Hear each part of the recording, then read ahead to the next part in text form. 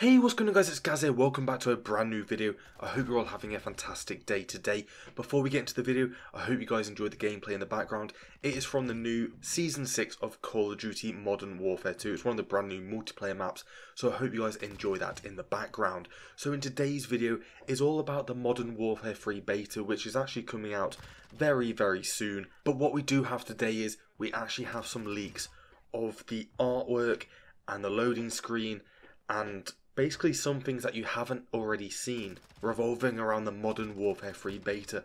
But for obvious reasons, I can't put them on the screen because that will get me slapped down with one of those nasty copyright strikes that nobody wants to see. So I will leave it linked down in the description below. So make sure you go over there, check it out, come back to this video and let me know all your thoughts down in the comments section below. Does this thing look awesome? Are you guys even going to be playing the beta? Are you going to be playing the beta early with the pre-orders? Then make sure you let me know all that down in the comment section below. The expectations for Modern Warfare 3 are absolutely massive, so when this game does drop in November, we will see a fully fledged game, hopefully, that we've wanted to see in such a long time. So if you guys love Call of Duty and you're going to be getting Modern Warfare 3 and you're going to be playing the beta, then just like I said, make sure you let me know all your thoughts down in the comment section below. If you like these kind of videos, make sure you hit that thumbs up button and drop me a little subscribe and I'll keep making videos just like this one. And then I'll see you all in the next videos. Thanks for watching Gaz and I'm out. Peace.